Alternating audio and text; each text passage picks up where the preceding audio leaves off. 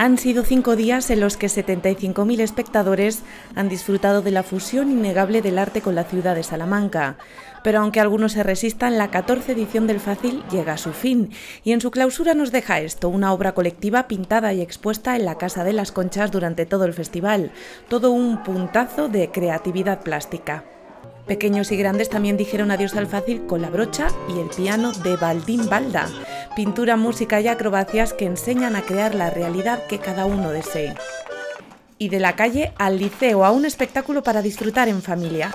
Estos son Tumpac y nos enseñan que... Combina la música con el medio ambiente, con el cuidado de la naturaleza. Con ellos cualquier objeto se puede convertir en una base para el ritmo y la percusión en estado puro y siempre se mueven entre los tac tac tac y los ja ja ja. La última jornada del festival también albergó el primer certamen internacional Urban Fácil. Ocho formaciones subieron al escenario con la frescura urbana del hip hop, la fluidez del contact o la libertad del contemporáneo. Al final, los bailarines salmantinos de David Bento se han alzado con el primer premio con este Indala y los franceses de Perception de Julien Rosen han quedado en segunda posición. Las casi 80 propuestas del Fácil finalizaron con dos fusiones de lujo. La banda Bademba, junto con la joven Orquesta Sinfónica de Salamanca, que bajo la dirección de Nacho Cantalejo interpretó su piel sinfónica.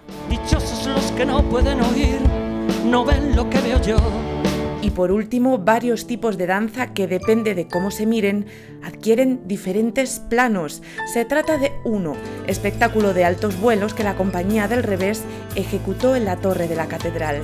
Y en la torre un reloj, porque el Fácil 2018 tenía que acabar como empezó, con el tiempo, el que se ha vivido intensamente en las calles de la ciudad y el que transcurre desde ahora hasta que comience de nuevo el festival el año que viene. Lo esperamos con ganas. Tic-tac. Tic-tac, tic-tac.